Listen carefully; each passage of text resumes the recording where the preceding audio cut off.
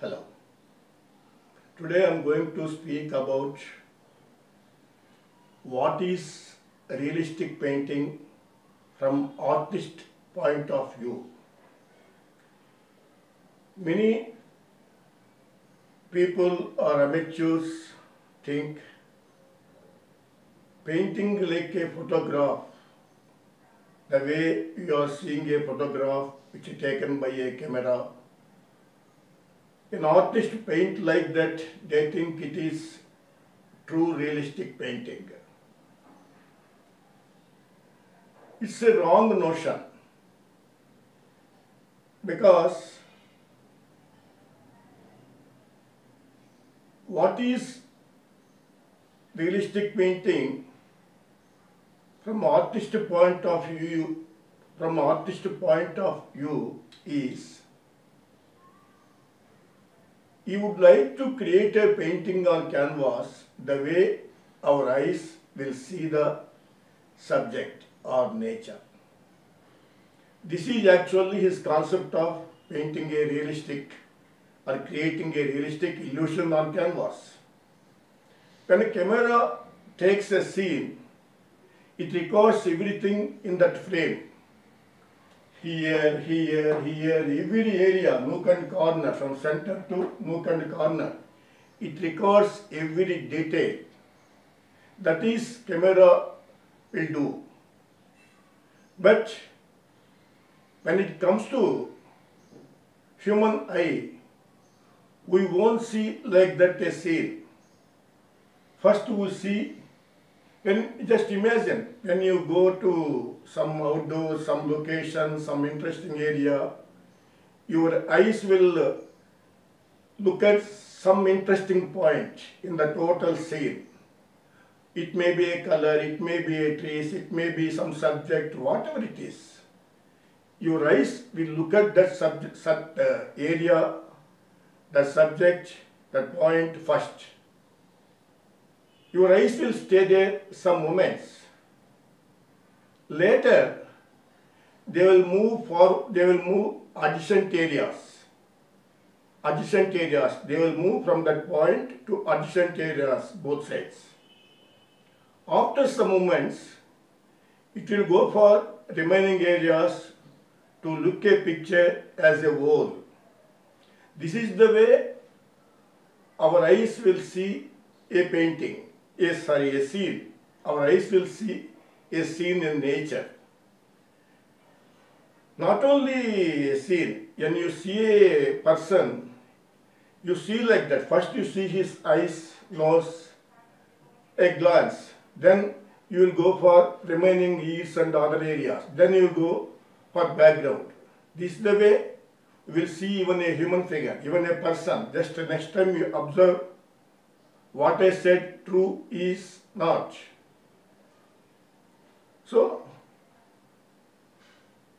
I am telling you once again, from artist point of view, you would like to paint a scene on canvas or a portrait on canvas the way our eyes will look at the object in reality, in life. That is, is sense of, his meaning of painting a realistic illusion on canvas. This is the way it will go. First, you call it focal point. Next, this is the adjacent, adjacent area.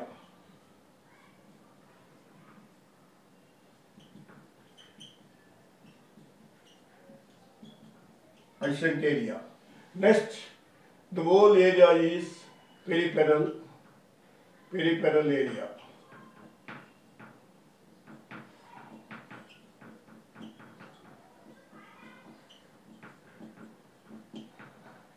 This whole area is peripheral area. In three stages, our eye will see a scene or a person. First, it looks at where the interesting point lies. It, again I am telling, it may be a color, a shape, a subject, a figure, whatever it is. First it look at that area that you call focal point. Then it goes to the adjacent area that is second level. Next it is it goes to peripheral area third. In peripheral area you won't see much detail because that's why we call it a peripheral area. We won't see much detail. Just observe yourself. You are seeing a scene like this. The the center point you see clearly, then the adjacent areas you won't see much clearly. Then remaining surrounding areas you won't see. Just your eye, the edges of your eyes will look at it just as a glance. You won't record, your eyes won't record any details there. That is peripheral area. So once again I am telling, in these three steps, our eye will see a scene. So artist's job is to paint these three steps on his canvas. Then his painting looks realistic. It will have realistic illusion and moreover it appears an artist work, a work of art. To an artist it is very important to create a feeling when viewer sees his work, he has to feel it's done by an artist, not by a camera. If he feels it's like a photograph, as an artist you are a failure. Note this. I will show you an example of one of my painting, what I had done to achieve this effect. Let us say.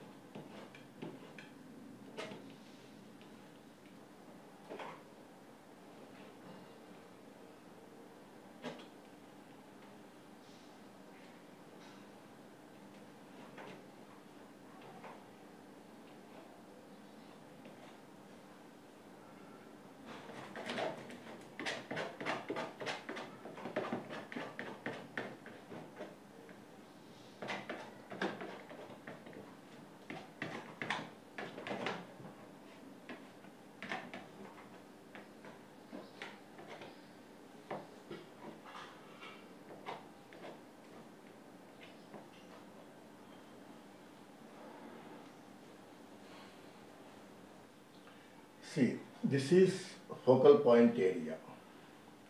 When we see the scene, first we look at this area. Will our eyes will stay sometime there or some moments I call it. Then they will move from this area and they came to the next area. this area. This area.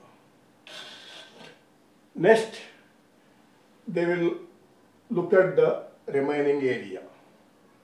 This area you call it focal point area or IU area where yours sees at first glance. After that you will go for second layer. You call it here you see lot of details. All the details you will see here. Because you are looking at it consciously with interest because it attracts you. There is some light, there is some interesting shapes or color, whatever attracted you, you look at that area for few moments, for few moments. Then you will move next area. There you won't see much details. Semi details are there. After some moments, you will go for remaining that area and this area. This is, you call it peripheral area because our eyes, the edges will see that area, not this view. They look at that, this peripheral area from these corners. That's why you call it peripheral area, peripheral view. When you have to create a realistic painting, this is the approach you have to follow it. Because our eye will see the nature or a scene or a person that way. If you paint totally with details, it's like taking a photograph from camera. Camera, eye will see the total area in equal view. Nothing will attract it predominantly.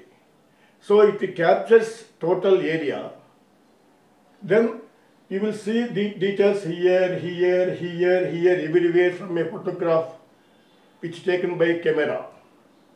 But human eye won't see that way. It sees focal point, adjacent area, next peripheral area.